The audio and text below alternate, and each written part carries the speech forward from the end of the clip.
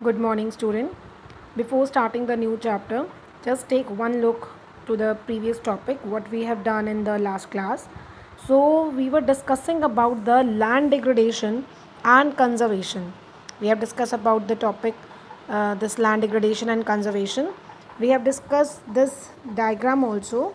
This is the wasteland in 2000, but I will give you the uh, update data that is from the Google 2011 का जो data होगा that we will discuss in the classroom now the today's topic is causes of land degradation there are many causes we have discuss now the one more one main causes there that is the mining mining sites are abandoned after excavation work is complete leaving deep scars and terraces of over burdening actually होता क्या है after doing the mining जब हमारे को पता है कि at the some places we are getting a number of resources like number of minerals so we start to excavate that हम उसको खोदना शुरू कर देते हैं उन रिसोर्सेज को लेने के लिए। और जब वो काम पूरा हो जाता है after getting all these minerals we leaving deep scars हम उसकी खाई को, जहाँ पे वो मलबा निकलता है, जो मटेरियल निकलता है, उसको खुला छोड़ देते हैं और उससे हमारा ये एक लैंड डिग्रेडेशन का कॉज बन जाता है। Some states names are given there like Jharkhand Chhattisgarh Madhya Pradesh Orissa these are the places हमारे को पता है that we are getting a so many minerals from these states so people are cutting down the trees they are doing the mining over there and getting the minerals but they are not uh, doing any kind of forestation there so that's why these places are degraded due to the mining now the state like Gujarat, Rajasthan, Madhya Pradesh, Maharashtra, so these places overgrazing is one of the main reason for the land degradation in these places. Number of animals and the cattle are depends on the posturing. So these places are degraded by the overgrazing. This is the second cause. Now in the states like Punjab, Haryana, Western Uttar Pradesh, over irrigation is responsible for land degradation due to the water logging leading is to increase in salinity and the alkalinity of the soil.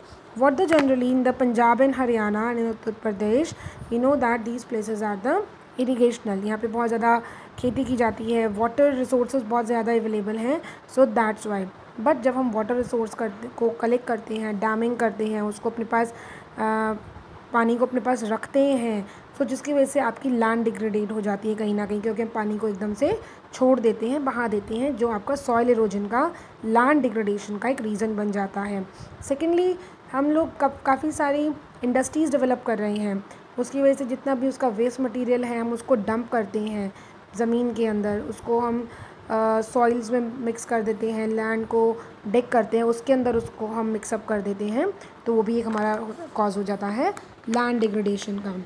The mineral processing like grinding of limestone or cement industry and calcite and soapstone for ceramic industry generate huge quantity of dust in the atmosphere. We know that कि industry से बहुत ज़्यादा pollution होता है और जो industries like cement industry और limestone उसके लिए ग्राइंड किया जाता है जब उसको क्रश किया जाता है उसमें बहुत ज़्यादा डस्ट निकलती है तो इसी तरह से कई इंडस्ट्रीज़ ऐसी हैं लाइक आप स्टोन है उसको क्रश करते हैं तो उससे बहुत ज़्यादा डस्ट निकलती है, जो आपके एटमोसफेयर के लिए बहुत हार्मफुल होती है।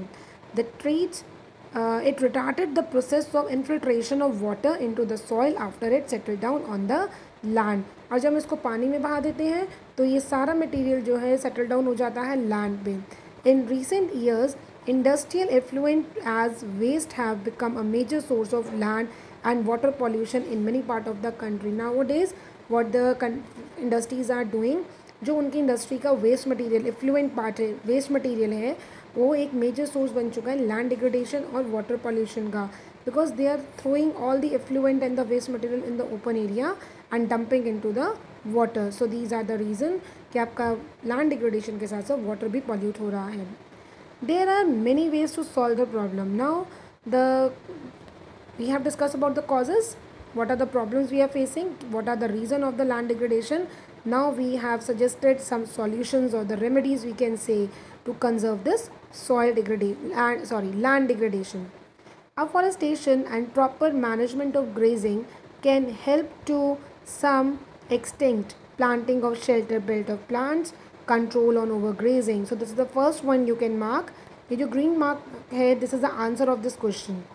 Afforestation and proper management means you can plant more and more trees and the management of grazing कि किस तरह से graze करना है that cattle should not be dependent on a particular one land. So उसको अगर हम manage कर लेते हैं so we can control the land degradation.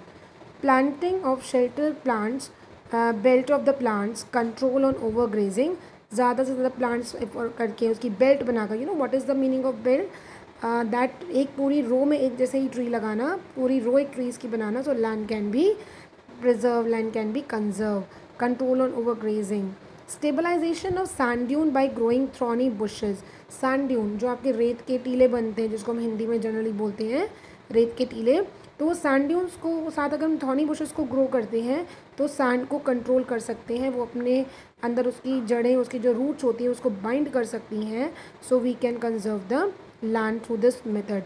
Some of the methods to check the land degradation in arid areas like in the Rajasthan and Gujarat areas we can do this kind of method. Third point proper management of wasteland control of mining activities. We know that we nowadays it is our need minerals that we need lots of minerals for the development of the country for the growth of the country but we need to use it in a proper manner proper discharge in the disposal of industrial influent we are using we are converting the coal into the energy resources. We are converting the iron ore into the steel. But we have to keep in mind we have to manage that the effluent of these industrial waste should be treated uh, with the reduce manner with the reuse manner, with the recycle manner, the three R's we have discussed, reduce, reuse and recycle. तो कुछ इस तरह की management activities के through हम इन waste material को treat कर सकते हैं, उनको प्रोटेक्ट उनको मैनेज कर सकते हैं। So we can conserve the land degradation and the water degradation in industrial and the sub urban areas so generally जो आपकी फैक्ट्रीज़ होती हैं, वो आपकी नॉन रेजिडेंशियल एरियाज़ में होती हैं। it means outskirt of the city. And they are throwing all the effluent and the waste into the uh, side by river or any in the open area. So adopting these methods we can control this. We can conserve our land degradation as well as the soil. So two questions are from there. One is this that what are the causes of the land degradation? So points are given there. And the second question is that how can we conserve the land resources? Thank you.